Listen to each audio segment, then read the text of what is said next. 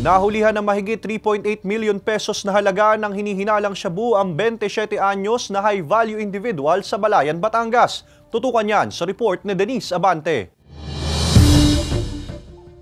Natiklo sa kanyang sariling bahay ang 27 anyos na lalaking itinuturing na high-value individual ng Balayan Police mula Barangay Santol, Balayan, Batangas pasado alauna ng hapon nitong Sabado sa isinagawang buy-bust operation. Nakumpiska sa suspect ang labing apat na heat-sealed plastic sachet na naglalaman ng hinihinalang sabu na may timbang na humigit kumulang 500 gramo. Initially po, hindi naman po ganun kalaki ang tinatransact namin sa kanya.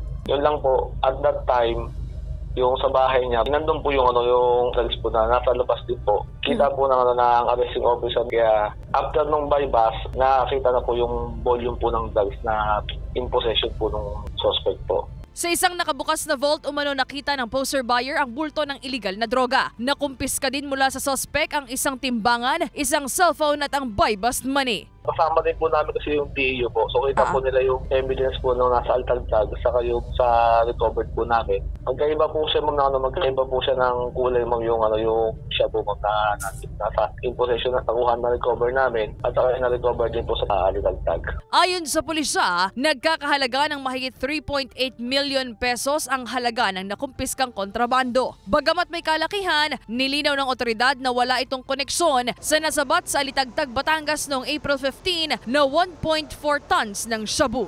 Humingi po kami ng tulong at cooperation po ng mga mga community sa community po. Na kung may mga model po sila ng mga personalities po na nakikita po lang involved sa illegal drugs, ay pagbigay alam po sa amin upang ma-check din po namin at hindi na po kumalat pa. Ngayong araw, isinailalim na sa inquest proceedings ang suspect na nahaharap sa reklamong paglabag sa Republic Act 9165 o ang Comprehensive Dangerous Drugs Act of 2002. Sinisika pa ng GMA Regional TV Balitang Southern Tagalog na makuhanan ng pahayag ang suspect. Denise Abante, Balitang Southern Tagalog.